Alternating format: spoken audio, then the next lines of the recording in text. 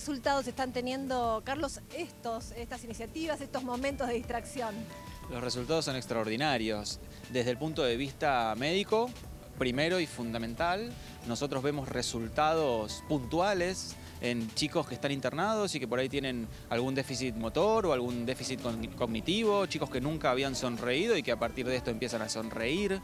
Eh, pero no todo es la risa. ¿no? Nosotros lo que intentamos con esto, con, eh, Alegría Intensiva, esta organización de, clowns profesionales, eh, acá en el Hospital Pediátrico de Malvinas, es cambiar la concepción de lo que es un hospital para un chico o para un adulto que viene a atenderse. ¿no? Eh, ya, ya no es más esto de entrar al hospital y esperar el guardapolvo blanco con los ojos llenos de lágrimas porque algo va a pasar ahí adentro. Ahora sí va a pasar algo que es que va a haber clowns que nos van a recibir.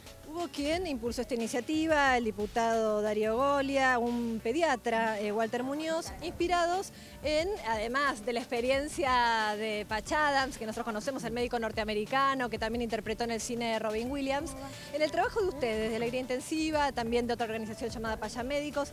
Eh, Mariano Rosenbel, ¿qué eh, pautas le dieron ustedes cuando les preguntaron qué se debía hacer? Bueno, cuando el diputado Golía nos invitó a, contarles nuestra forma de trabajo, por supuesto le contamos todo lo que venimos haciendo, pero fundamentalmente eh, tres pilares a tener en cuenta para la ley que tiene que ver con que los, las personas que lleven adelante este trabajo sean verdaderamente actores y actrices con muchos años de formación, especializados en clown y, que manejen otras técnicas, sobre todo musicales. Que el trabajo es sistemático, es una o dos veces por semana, de marzo a diciembre, y que el trabajo es rentado también, por respeto a los artistas, a su tiempo y a su esfuerzo de formación.